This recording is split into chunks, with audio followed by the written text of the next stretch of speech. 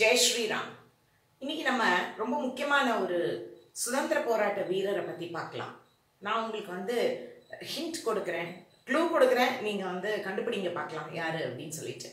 இவர் தான் மெட்ராஸ் சிறையில் முதல் முதலா முதல் அரசியல் கைதியா கைது செய்யப்பட்டு அடைக்கப்பட்டார். யார் அவருன்னு உங்களுக்கு தெரியுமா? தனித்தமிழ் இயக்கத்தில் இயக்கத்துல மிகுந்த ஈடுபாடு கொண்டு அவர் வந்து அதுக்கு ரொம்ப அளப்பரிய அளவில் தொண்டாற்றினவர். யாருன்னு உங்களுக்கு தெரியுதா? கெஸ் பண்ண முடியுதா?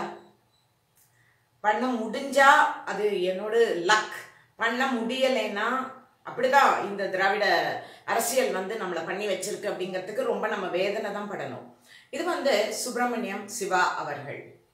மெட்ராஸ் சிறையில் முதல் முறையா ஒரு அரசியல் கைதியா குற்றம் சாட்டப்பட்டு கைது செய்து அடைக்கப்பட்டது இவர்தான். அது சமயம் அவருக்கு வந்து குஷ்டம் வந்துருச்சு. அது இன்ஃபெக்ஷியஸ் டிசீஸ் இல்லையா? பக்கத்தில் இருந்தவங்கள்ட்டேருந்து அவருக்கு வந்துட்டு.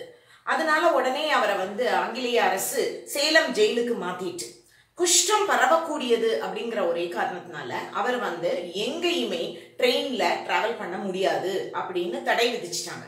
அப்போ என்ன ஆயிடுச்சு? அவர் வந்து எப்போவும் கால்நடையாவே தான் ஒரு ஊர்ல இருந்து இன்னொன்று ஊருக்கு போகணும். அது எவ்வளோ பெரிய சங்கடமான ஒரு விஷயம் நம்மளால இந்த காலத்துல நினைச்சு பார்க்க முடியுமான்னு எனக்கு தெரியல. ஆனா அவர் தமிழகத்தோட அத்தனை ஊர்களுக்குமே அவர் கால்நடையா போய் தான் சுதந்திர போராட்டத்துல பங்கு பெற்று பிரச்சாரம் பண்றதுக்கு போறார். தனித்தமிழ் இயக்கம் மறைமலை அடிகள் அவர்களோட தலைமையில அவங்க வந்து இவங்க எல்லாருமே அதுல ரொம்ப அளப்பரிய பங்காற்றினாங்க அப்படின்னு சொல்லணும். அதுல வந்து தமிழ் அல்லாத சொற்களை அவர் வந்து நம்ம பிரயோகிச்சா அவங்களுக்கு ரொம்ப கோபம் வரும். அதை வந்து தடுக்கணும் அப்படின்னு நினைச்சாங்க. அதை வெறுக்கவும் செஞ்சாங்க. இவ்வியக்கத்தை உறுதியா ஆமோதித்து அதுக்கு வந்து பல வகையிலையும் அதை பரப்புறதுக்கும் அதை வந்து அதை அதை தினப்படி வாழ்க்கையில அதை வந்து பிரயோகப்படுத்தினதுலையும் இவர் வந்து ரொம்ப முக்கியமான ஒரு இடம் பிடிக்கிறார். தமிழகத்துல சுதந்திர வேட்கையை தூண்டியது அப்படின்னு நீங்க பாத்தீங்கன்னா மூணு முக்கியமான ஆட்கள் சொல்ல முடியும். ஒரு பக்கம் வவுசி வவு சிதம்பரம் பிள்ளை அவர்கள். இன்னொரு பக்கம் சுப்பிரமணிய பாரதி. இன்னொரு பக்கம் அது சுப்பிரமணிய சிவா. இந்த மூணு பேருமா சேர்ந்து அதுல அதாவது இவங்க மூணு பேர் தான் தலையாய பங்காற்றி இருக்காங்க அப்படின்னால இந்த மூணு பேரை பத்தியுமே இருட்டடிப்பு செய்யப்பட்டிருக்கு அப்படிங்கிறது தான் ரொம்ப வேதனையான ஒரு விஷயம். ரெண்டு ஆயிரத்தி தொள்ளாயிரத்தி பதிமூணுல ஞானபானு அப்படின்னு இவர் வந்து ஒரு பத்திரிகை நடத்துறாரு. இப்போ இவருக்கு வந்து வீரமுரசுன்னு ஒரு பேர் இருந்திருக்கு. அவங்க மக்கள் வந்து அவ்வளோ ஆர்வமாக அவர் அவரை வந்து அவரோட பேச்சுக்களை கேட்பாங்க. அதை பற்றி கூட நம்ம பார்க்கலாம் இன்னைக்கு. திண்டுக்கல் மாவட்டத்தில் வத்தலகுண்டு அப்படிங்கிற ஒரு சாதாரண ஊரில் ரொம்ப ரொம்ப வறிய குடும்பத்தில் பிறந்தவர் அவர்.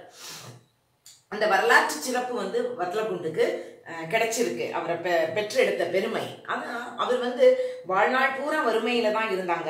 திண்ண பள்ளிக்கூடத்துல தான் படித்தாங்க அவங்க வந்து ஒரு கட்டத்தில் மதுரையில் அங்கேருந்து ப- வத்தலகுண்டூர்லேருந்து மதுரைக்கு வந்து சுப்பிரமணிய பாரதி வேலை பார்த்த ஸ்கூலில் கொஞ்ச நாள் படித்தாங்க அதுக்கப்புறம் அவங்க வந்து அவன் துரந்தரத்துக்கு போய் அங்கேருந்து சில சேவைகள் எல்லாம் அவங்க பண்ண முடிஞ்சது. அப்போ ஆரம்பத்தில் அவங்க படிக்க போகும்போது அவங்களுக்கு ஒன்றுமே கையில் பைசாவே கிடையாது. அப்போ ஊட்டுப்புறேன்னு சொல்லுவாங்க. அந்த ஊட்டுப்புறையில இலவச உணவு தருவாங்க. அந்த வாங்கி சாப்பிட்டுட்டு தான் இவர் வந்து அங்க ஜீவிச்சு இருந்தாங்க. திருவனந்தபுரத்துல வந்து தர்ம பரிபாலன சமாஜம் அமைச்சு இவர் உருவாக்கினாரு. அந்த ஊர்ல இருந்து அதுக்கப்புறம் அவரோட செயல்பாடுகள் பிடிக்காம அவர் வெளியேற்றப்பட்டார் அரசாங்கத்தினால. கால்நடையாக ஊர் ஊராக போய் விடுதலை வேட்கையினை இவர் வந்து உண்டு பண்றது தான் இவரோட பிழைப்பாவே அதுல இருந்து ஆயிப்போச்சு. அப்படி ஒரு நாள் அவர் தூத்துக்குடிக்கு வந்தார். தூத்துக்குடியில வந்து கப்பலை ஓட்டிட்டு இருந்த அஹ், வ சிதம்பரம் பிள்ளையோட நட்பு அவருக்கு கிடைச்சது. அது ரொம்ப மிகப்பெரிய அழகான ஒரு நட்பு. அது வாழ்நாள் முழுக்க தொடர்ந்தது. அதில் அதுல வந்து அவ அவங்க ரெண்டு பேருமா சேர்ந்து அப்போ தூத்துக்குடி மாவட்டம் தனியா கிடையாது. ஒன்றுபட்ட திருநெல்வேலி மாவட்டமா இருந்தது. திருநெல்வேலி ஜில்லா பூரா அவங்க ஊர் ஊரா போய் பிரச்சாரம் பண்றாங்க ரெண்டு பேரும். ரொம்ப அழகா இருக்கு அந்த நட்பெல்லாம் பத்தி படிக்கும்போது. சுப்பிரமணிய பாரதி அவர்கள் சுதேசி கீதங்களால இவங்க ரெண்டு பேரையுமே பயங்கரமா தூண்டுறார். ஸோ இந்த மூணு பேரும் அந்த ட்ரையாங்கிள் ஓகே அந்த மூணு பேரும் வந்து அவ்வளோ அழகாக பண்ணியிருக்காங்க. ஆயிரத்தி தொள்ளாயிரத்தி எட்டுலேருந்து ஆயிரத்தி தொள்ளாயிரத்தி பன்னிரெண்டு வரைக்கும் இவர் ராஜ துரோக வழக்கு இவர் மேலே பாஞ்சு இவர் இவர் வந்து கைது செய்யப்பட்டு ஜெயிலில் இருந்தாங்க. பிரபஞ்சமித்ரன் அப்படிங்கிற ஒரு பத்திரிகையில் நாரதர் அப்படிங்கிற பேரில் இவங்க தொடர்ந்து கட்டுரைகள் எழுதியிருக்காங்க. இருபது நூல்களுக்கு ஆசிரியரும் கூட. தனித்தமிழ் அப்படின்னு உங்க மனசுல என்ன தோணி இருக்கும் நான் சொன்ன உடனே நிச்சயம் இது வந்து திராவிட பாரம்பரியத்துல வந்த ஒரு ஆள் அப்படின்னு தோணி இருக்கும் அப்படி இல்லை. இவர் வந்து தேசியமும் தெய்வீகமும் சிறப்பா அவர் வந்து பிரச்சாரம் பண்ணியிருக்கார். தனி தமிழும் சுதந்திர இந்தியாவும் அந்த வேட்கையை உ- உண்டு பண்ற ஒரு ஆளாவும் அதெல்லாம் உயிர் மூச்சா இருந்திருக்கு இந்த நாலு விஷயங்களுமே அவருக்கு. அவர் வந்து ஒரு கட்டத்துல அவரோட பெண்டாட்டி இறந்து போயிடுறாங்க. அதுக்கப்புறம் அவர் காவி உடை தரித்து அந்த அளவுக்கு அவர் வந்து ஆன்மீகத்திலையும் மிகப்பெரிய ஈடுபாடு கொண்ட கொண்டிருந்தாங்க. தேசியத்துல ஈடுபாடு கொண்டதுக்கு நம்ம உத உதாரணமா சொல்லணுமானா பாரத மாதாவுக்கு ஒரு கோவில் கட்டுறதுக்கு அவங்க ஏற்பாடெல்லாம் பண்ணியிருந்தாங்க. ஆயிரத்தி தொள்ளாயிரத்தி அது வந்து பாப்பாரப்பட்டியில.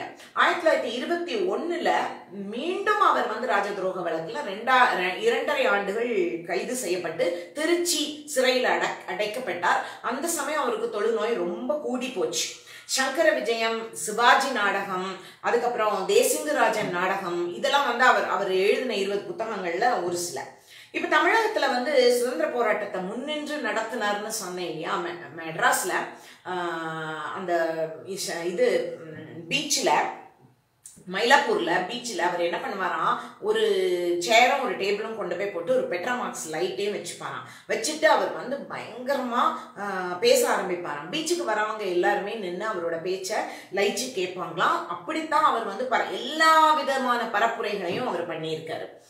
இப்போ வந்து இவர் வந்து ஒரு சமூக சீர்திருத்தவாதி அப்படிங்கிறத நம்ம ரொம்ப பெருமையா இது பண்ணிக்கலாம். என்னவோ வெளிநாட்டுல இருந்து வந்து தான் இந்த நாட்டுல எல்லாமே செஞ்சாங்க அப்படின்னு சொல்றதெல்லாம் போய். இவர் வந்து ஒரு மிகப்பெரிய சமூக சீர்திருத்தவாதி சுதேசியாளர் இது பத்திரிகையாளரும் கூட ஒரு பத்திரிகையாளர் எப்படிப்பட்ட ஒரு சிந்தனையோடு இருக்கணும்? நெகட்டிவ் ஃபோர்ஸா இருக்கக்கூடாதுங்கிறதுக்கு இவர் வந்து ரொம்ப அழகான ஒரு உதாரணம். அதுக்கப்புறம் தொழிலாளர்களை ஒன்றிணைக்கணும் அப்படின்னு ரொம்ப ஆர்வப்பட்டாங்க. அதுக்கான செயல்பாடுகள்ல இறங்கியிருந்தாங்க. இவங்க எல்லாருமே அந்த விஷயத்துல வந்து லெஃப்ட் லீனிங்ஸ் உள்ள ஆட்கள் தான். சீரிய சிந்தனையோட அவர் வந்து இந்த விஷயங்கள் எல்லாத்துலையும் ஈடுபட்டாங்க. இன்னும் பிற நிறைய அவருக்கு வந்து டைமென்ஷன்ஸ் சொல்லலாம். காந்தி அவருக்கு ரொம்ப பிடிக்கும். ஆனா அவர் வந்து செயல்பாட்டிலையும் சிந்தனையிலையும் செயல்பாட்டிலையும் அவர் வந்து ரொம்ப ரொம்ப ஒரு தீவிரமான விஷயத்தை அதை பட் தீவிரமா பற்றுக்கொண்டு தீவிரமா செயலாற்றக்கூடிய ஒருத்தரா தான் அவரை நம்ம அறியறோம்.